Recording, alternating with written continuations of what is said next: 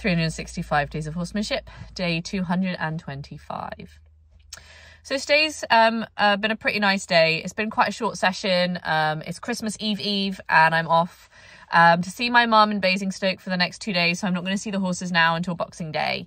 Um, and yeah, it's really like, I mean, it's late. Like I've done a bazillion things. I have like Christmas presents to deliver before I go away and I've worked all day on a 12 hour shift and I just really wanted to come and see the horses at the end of the day. Um, and yeah, it was nice. It was really nice.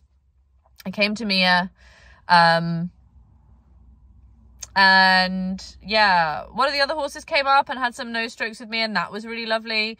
Um, and then today with Mia, I was able to she's a lot more interactive. Like I definitely felt today like there was this real warmth. Like I spent a lot of the session at touching distance. It was really only like five or 10 minutes.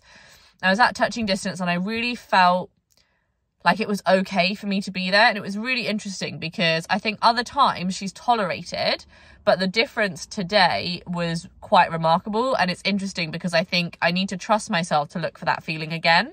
Um, but yeah, it was it was really nice actually, and there were quite a few times where I basically just tried to stay in flow with her. I tried to stay in flow with her feet. Um, and actually we were able to do that, you know, for probably close to a minute at a time, just kind of like looking at stuff together, doing stuff together, just being in sync. Like then she'd look up at a member of the herd and even a couple of times when she moved quite quickly because they were kind of moving around, the tension came up a little bit.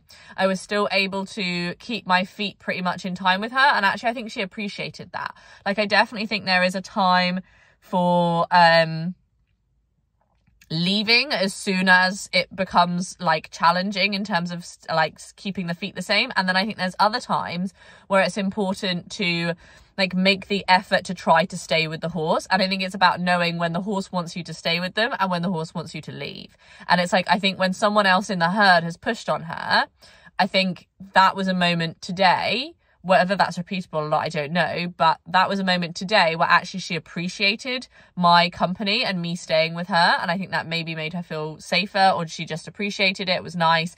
Whereas actually when we're, when she's comfortable and I'm somewhere for too long and then she moves unpredictably, actually then I need to leave and find a different place. So it was good. I definitely felt I definitely felt it like we were just in sync a lot more. Um, yeah, there was a lot of focus changes from her um, to the herd, to the environment, a couple of times to me as the leader. Um, and yeah, so that was nice. It felt like a balanced session. It was like quality over quantity, um, was kind of definitely the vibe for the day generally with both horses. Um, and yeah, so that was really nice. I went to Lawrence um, afterwards and yeah, and he like had kind of come down towards like seeing me and we had like some sort of nose nose strokes and then everyone came down the hill and it was interesting as they were coming down the hill actually because I so I knew they were going to start walking initially I'd sort of made the offer to walk back upwards, but then some of the other horses started walking downwards, so I started walking downwards too. And I think in classic old me fashion, I decided to set a good example by walking down the hill straight.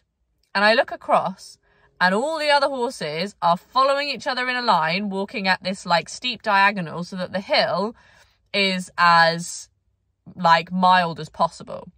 And I looked at them and I thought, you know, it's interesting because I think I I think I know better, right? But I'm just proving that I don't understand them with my weird human ways. And actually, I think it's about this idea of like stepping back within myself, like when I reflect across my life, even when I was a young child, like you know, I had my brother, but he was pretty from what I remember, he was relatively submissive is like the wrong word. He was pretty compliant. Like I made the suggestions, I had the ideas, and he pretty much just went along with whatever I said for pretty much all the memories I have of him. And we never really argued because he never really disagreed with anything that I wanted to do that I can remember. And I'm sure there were times where he decided what we were going to do, but largely I think it was me. And then after he died, then it was just me listening to myself and I didn't really make that many friends for quite a long time afterwards. And I didn't have any friends that like I was close with around that time that I spoke to regularly to maintain any relationships like that.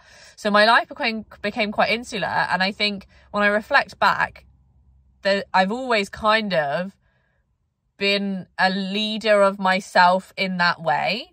And actually I don't know that I've always allowed the opportunity to really listen and try what other people want to do if I think my idea is better, I'll just do my idea.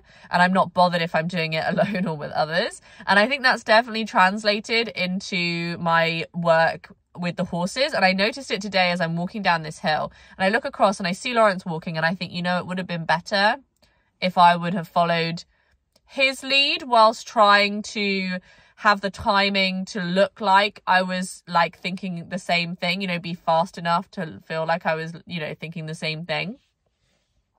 And and and I realized that actually, if I do that, I'm still building this rapport where he's like, wow, she really gets it. She really gets it. She really gets it. She really gets it. And then me suggesting an idea is going to need less persuasion because historically I've proved that I get it by doing all these things that he wants to do because it doesn't really make a difference. I think it's better this way, but actually it's not really like he can make that choice, you know? And I think that was a that was a that was a good fundamental thing to learn. I definitely there's a question that has definitely been brought up out of it, which I think is really interesting like Elsa talks about, and I've heard other people talk about it as well. Like I remember I asked Pat Parelli this um, when I saw his um, his 40th anniversary clinic last year, and and I asked him, you know, it seems like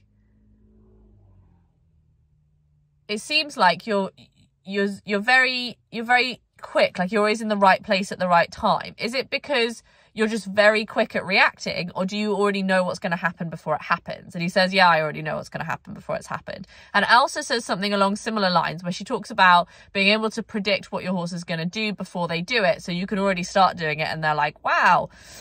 And so i think my question is is that real or is it a case of watching and reacting sort of like so quickly that it looks like you've predicted but you like you haven't actually done it until the the movement or the motion or the action has started? And i think i know the answer. I think the answer is literally that you predict.